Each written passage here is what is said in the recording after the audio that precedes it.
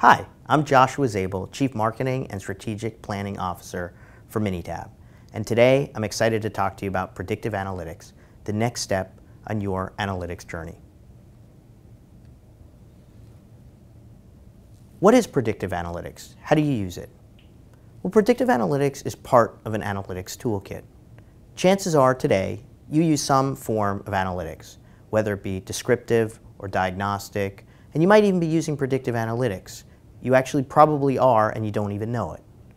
But predictive analytics is critical to helping you grow and actually helping your company be more efficient. What is predictive analytics? Well, predictive analytics is really where machine learning meets traditional statistics. We all know what traditional statistics is, whether it's simple stuff like averages or medians. Um, and there's also more advanced statistics we might be familiar with, like regression, which is a form of predictive analytics, um, or other things like t-tests or ANOVA. Even if you're not familiar with those, don't worry about it. Machine learning is a fancy term for understanding data and understanding and learning from that data. Predictive analytics is really where traditional statistics meets machine learning in a way that lets you use it and apply it to your daily life or your daily business tasks. Predictive analytics can be a critical tool in your business. Here's an example of somebody looking at tire life or predicted tire life. If somebody was tasked with what makes a tire wear down or what makes it give up over time, there might be some obvious answers we know about. Things like how long the tire was used or how fast people are driving on it. But we also understand there are other factors like temperature or weather or the weight carried. That's a lot of different factors jumbled into one. And so when asked to put it all together and say, what is the most important factor, it's really difficult to say. But with predictive analytics, you can use the data to drive an algorithm which will tell you what is the most important factors, and frankly, what other factors that you may think matter actually don't in reality. The beauty of predictive analytics is it can be used in different ways. In the case I just gave you about the tire, predictive analytics can help you understand what's going on. What factors have little influence, what factors have a lot of influence.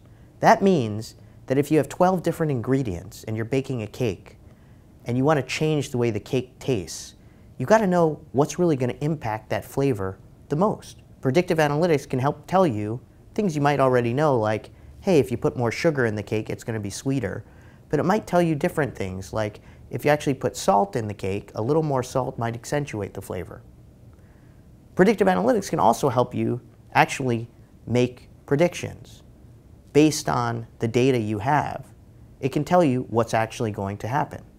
In the case we just gave you about the tire, if you take all that data about the tire and you plug it into a predictive model or an algorithm, it's actually going to tell you how long the tire can live.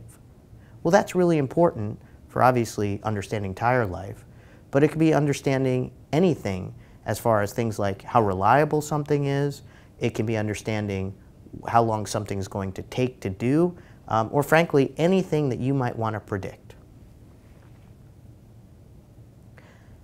Now, like anything else, predictive analytics is a series of tools in a toolkit. It's not, there isn't one algorithm or one formula that's going to solve all your problems. Different formulas are used for different purposes. In the example above, you can see different ways of measuring things. A measuring tape is very important around the house, but it's not going to be used for precision engineering you may not need to understand, in the case of a measuring tape or precision engineering, which tool, but understanding that there are different tools is really all you need to know as far as predictive analytics goes. And the reason why that is, is because understanding if you're making a prediction today, you may actually not be using the right tools because it's almost impossible for you to understand the breadth of all the tools out there. Let's take a different example. If you're driving from point A to point B, Imagine you're driving to work. You have directions. You might have a way you go every day.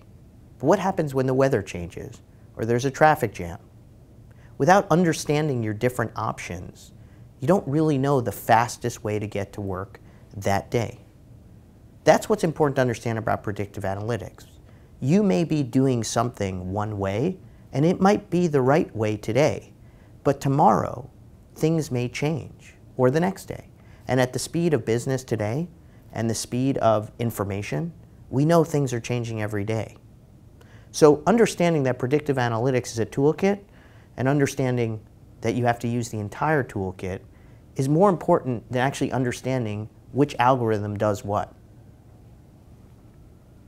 The good news is there's something called automated machine learning. Automated machine learning is a fancy way of saying predictive analytics optimized, which is to say you don't need to know which algorithm is best and why. You just need to know which one is the best for this particular instance.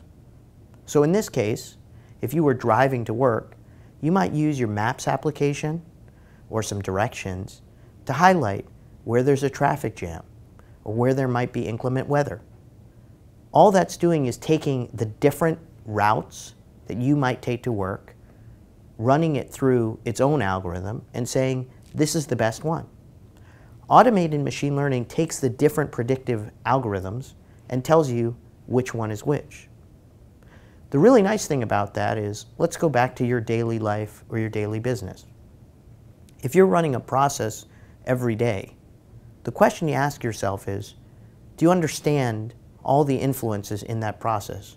Do you really truly understand which factors are going to drive the biggest impact on your outcome? If you do, that's great. If you don't, predictive analytics can help you get a better understanding. Once you have that understanding, you want to understand what the outcome might be. And by using automated machine learning, you might be able to tell on a different day what the outcome might be as things change. So as you can see, while predictive analytics is a large subject, the most important takeaway to understand is that you don't have to be a mathematician to use predictive analytics.